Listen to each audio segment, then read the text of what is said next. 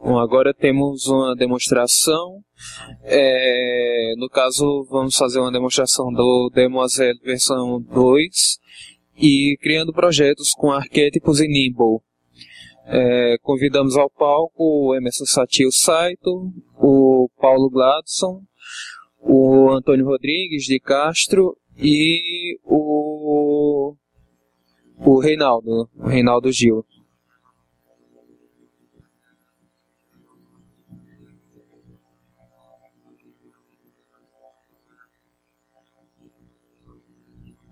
Gente, a gente só vai dar um.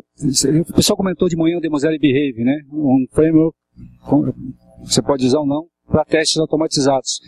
Não estava previsto, mas achei legal que o Juliano está aqui, vai demonstrar rapidinho, 10 minutinhos, falar um pouquinho desse comunista, que é você fazer um teste integrado das suas aplicações, que está disponível para vocês também na comunidade Moselle.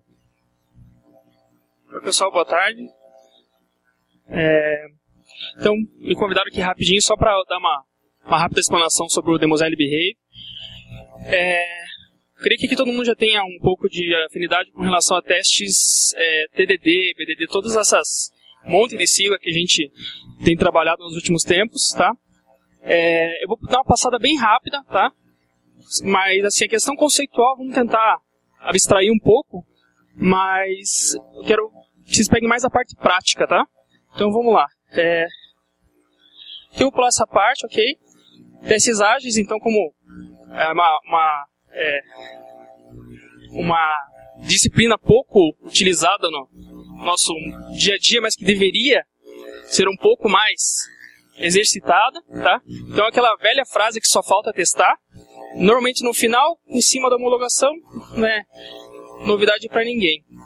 É, então BDD, pessoal, rapidinho. Então é um processo, tá? Que ele foi criado por Dan Norton, tem toda uma teoria, um embasamento teórico bem bacana em cima. Também vou pular isso, tá? Mas é interessante para quem não conhece BDD e TDD se aprofundar nisso, são tendências de mercado bem fortes, ok? Vou pular isso aqui. Vamos lá, então aqui por que usar BDD, né? Especificação por comportamento, então vocês vão ver que a gente vai escrever uma história, onde você descreve o comportamento do usuário. Tá? E é texto simples, é plain text, padrãozão, nada de muito especial. Fora alguns detalhezinhos que eu vou explicar aqui rapidamente para vocês entenderem o funcionamento. Então, histórias concretas, tá? A gente usa histórias concretas, não é aquela. É, escreve um caso de uso, fluxo principal, tal, tal, tal. Não. A gente escreve exatamente o que o usuário, passo a passo, que ele vai fazer. Vocês vão ver que é um negócio bem interessante. Cenários de uso são mais eficientes do que apenas descrições, né, que são usadas no, que são usados normalmente nos casos de, nos, nos casos de uso, né? Pode passar. É, então, a gente, o que, que a gente tenta fazer com o BDD? É não deixar pro final os testes, que é justamente o que tinha naquela camiseta, né? Só falta testar. Então a gente tenta trazer isso pro início. Aqui no, no a gente tem tentado trazer para os projetos, fazer com que essa documentação de teste também seja especificação do sistema. Então o que, que acontece? Já escreveu a especificação do sistema, aquilo quando o sistema estiver pronto, em teoria, você só dá o play e ele vai testar a tua especificação. Tá? É claro que existem contornos, existem alguns detalhezinhos que precisam ser atentados. Mas essa é a ideia. A gente tem uma especificação testável. Tá? Independente de sigla, BDD, TDD, essa é a ideia principal. Temos a especificação do sistema aprovada pelo cliente, ok? Dessa especificação sai um software. Esse software é testado com a especificação automaticamente, ok? Essa é a ideia principal. Para isso, tá? Aí que vem a parte é, um pouco mais teórica, mais é, pragmática do negócio, que é para que isso funcione, nós precisamos de uma linguagem específica. Por mais que uma pessoa leiga escreva essa especificação, eu preciso que essa, que, que essa especificação tenha palavras-chave, algumas coisas que façam, que conectem ao meu código, para ele que eles possam ser testados, ok? A ideia final é fazer com que essa especificação seja legível também para a pessoa, como uma pessoa de requisito, um cliente final. ok? Então, para isso, eu uso uma linguagem, tá? Que é esse plaintext que eu comentei. É essa linguagem chamada Jerkins. Vocês vão ver que nada mais são do que três frases. três inícios de frases. Que é dado o que, quando e então. São essas três básico, é, digamos, gatilhos. ok, que a gente usa lá dentro. Vocês vão ver que é bem simples, nada possa complicar. Olha aqui, isso aqui para vocês terem uma ideia é um teste de aceitação simples, tá? Aqui é a descrição, então como um papel qualquer, eu quero um recurso para que tenha um benefício qualquer, ok? E aqui é o que eu havia comentado. Dado que, um contexto inicial, ok? Quando acontecer alguma coisa, então tem que garantir algum resultado. Com essa frase, eu sei que é um pouco generalista demais, pode parecer, mas com, com esse essa sentença aqui, se consegue especificar um sistema inteiro, ou pelo menos boa parte dele, ok? Então, a BDD na prática, que é, pessoal, de novo, desapeguem a sigla, ok? A intenção é ter uma especificação testável, ok? Ok. Isso aqui, gente, já é uma, uma especificação testável de uma calculadora. Isso aqui que vocês estão vendo não é, ah, estamos deixando bonitinho. Não. Isso aqui é o que vai para o cliente, ele aprova e depois é testável. Ok? Então, só para vocês darem uma olhada, a gente tem até uma narrativa ali com texto livre. Quase livre, né? Que a gente tem algumas também palavras-chave ali, mas pode. Ali a gente tem uma certa liberdade. Já que no cenário somar, a gente já tem aqui, pode ver, que o dado que, quando e então. Nada muito complexo ali. Aqui que entra um pouco da mágica, né? Então, ó, cada sentença dessa é ligada a um método Java padrão, tá? O que, que é interessante no Demoselle Framework, no, desculpe, do Demoselle Behavior? A ideia é que a gente já tem muitas dessas frases mapeadas. Então hoje a gente só precisa escrever Java mesmo, em torno de 20%, 10 em alguns projetos. Então quando a pessoa vai escrevendo na ideia do Eclipse lá, hoje, por enquanto, a gente ainda precisa ter uma ideia, mesmo o analista de requisitos, ele precisa ter uma, uma ideiazinha de Eclipse lá. Mas a ideia é que ele, no control espaço, todas as frases que ele precise já estão lá. Ok? Então tem toda. A pessoa não, não vê código Java, escreve o texto dela, ok? E já sai testando. Essa é a ideia principal. Então, a pessoa sem conhecimento técnico de Java, a princípio, salvo algumas exceções, consegue já fazer testar um software. Existem alguma questão de mapeamento por trás que normalmente é feito pelo próprio desenvolvedor, mas isso é uma parte que a gente é, é necessário em qualquer, de qualquer maneira, ok? Que é justamente isso que eu vou falar agora.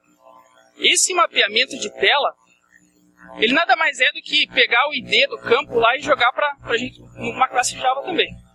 Nada muito complexo. Tá? Em alguns casos aqui no SERP, a gente tem adotado que o próprio analista de requisito faça isso. A gente tem algumas experiências no Rio de Janeiro e pelo menos uma em São Paulo, ok? Aqui vou pular é um conceito de page object que a gente também usou dentro do framework. Só que vamos pular essa parte para não se estender muito. Então, só para vocês terem uma ideia do mapeamento, então uma, uma classe padrão Java, só com os mapeamentos. Então, tem um text field ali, que é um search field do Google, mapeamentos. Vocês podem ver que o locator ali, apesar de não ser um ótimo exemplo, é aquele G, B, Q, F dele, né? Então, ele está mapeando o campo do Google. Isso é a cola que tem entre a história, tá? que é o texto livre.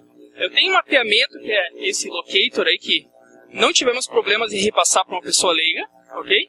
E o código Java, que já tem muita, muita coisa pronta, ok? Aí só um detalhamento um pouco mais a fundo. Também são exemplos. Pode passar. Aí já começa a entrar um pouco mais a fundo, pode passar também. Tá, aqui só voltando um pouco então no mapeamento de tela, que eu já havia até comentado. Nós temos o dado da tela, que é o Spin Map, que é isso que foi mostrado ali, que tem o código Java anotando assim, ah, tem um, um campo é, de texto padrão, depois tem o Select, isso aí eu preciso. Em todos os frameworks que vocês vão ver aqui, existe alguma camada de abstração, ele tem esse mapeamento, tá? E o comportamento. Esse comportamento que a gente já tem mapeado. Então, um clique do botão, você não precisa desenvolver. Já vai estar tá lá o, a frase lá. Então, quando eu clico no botão X, ele está pronto. Então, esses 80, 90% de frases que corriqueiramente são usados nas histórias, você não vai precisar escrever. Ok? Pode passar. História, que a gente tem mais exemplos de histórias. Bem, com essa introdução, pessoal, vou mostrar para vocês então como que fica é, um exemplo prático, porque é difícil a gente conseguir visualizar isso aqui sendo rodado, principalmente para quem nunca viu uma automação de teste, fica complicado de visualizar.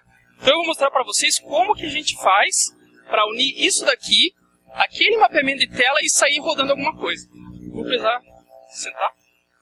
É um videozinho. Ver aqui se eu consigo mostrar para vocês claramente.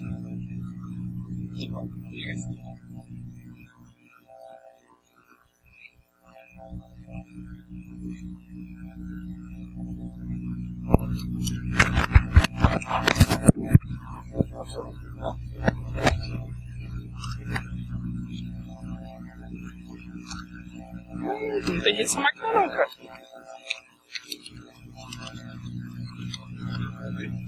Aí? Ah, tá.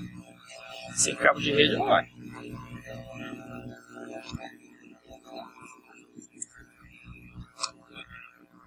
Indo. Como se fosse Wi-Fi, mas tá indo. Aí. É, isso.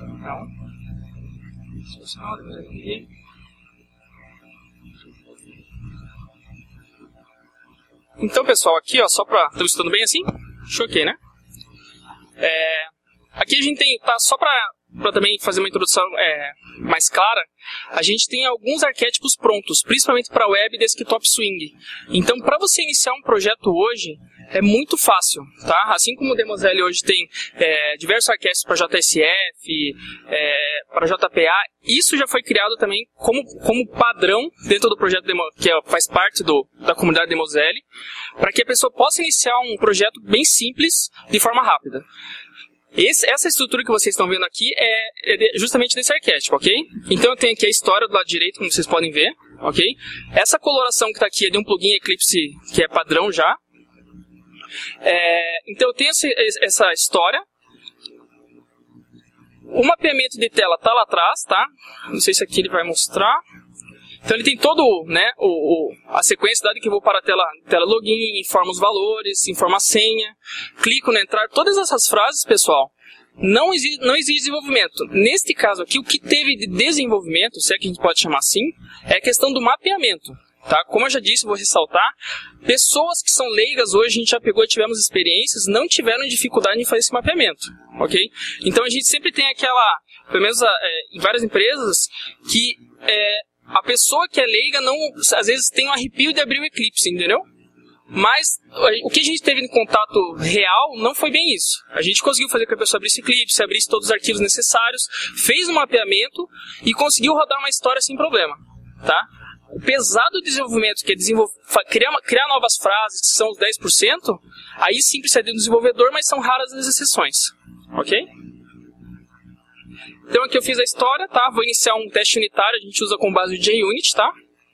Ele abre um browser e começa a fazer o teste, tá? Que ele pode ver que ele abriu o browser, colocou o dado e logou, tá? Então perceba, eu tenho, eu tenho o Eclipse, o teste unitário levanta o browser através do framework, tá? Levanta um browser que pode ser qualquer, qualquer browser de hoje a gente tem Internet Explorer, Firefox, Chrome, tá? Ele abre o navegador, coloca os dados, faz login e verifica se deu tudo certo. Ok? Então essa é a ideia. A gente consegue colocar isso hoje numa integração contínua que rode toda noite. Então pra, quando você hoje tem entrega contínua, você tem é, entregas diárias, esse tipo de coisa, esses conceitos mais é, modernos, de, de, modernos, você precisa desse tipo de ferramenta para conseguir manter o controle de qualidade. Ok? Então hoje existem projetos no SERP que são entregas mensais.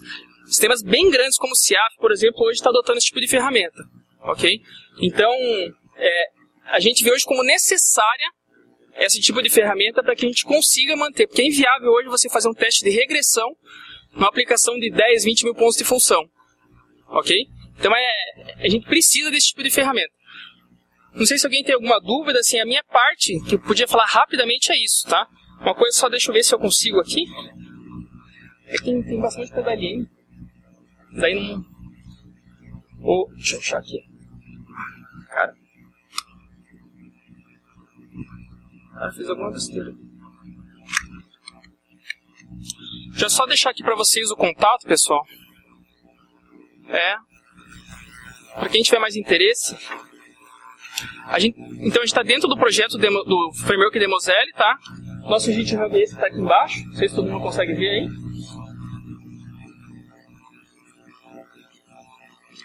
É uma apresentação rápida.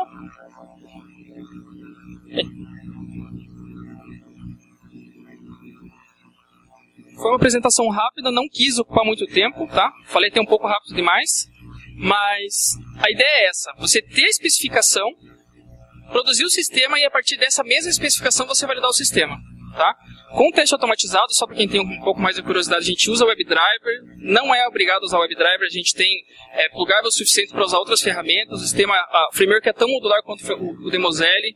Tá? A gente também parte, parte do pressuposto de ser um framework de integração, então não obrigamos a utilização de, de ferramentas específicas. Tudo isso a gente pode encontrar no, no, no GitHub, documentação, como começar. E é isso, pessoal. Não sei se tiverem alguma dúvida. Tá tudo ok? Fechou? É que é uma apresentação bem rápida, eu entendo. Mas, comentaram que vocês tinham interesse, tá aí. Fechou?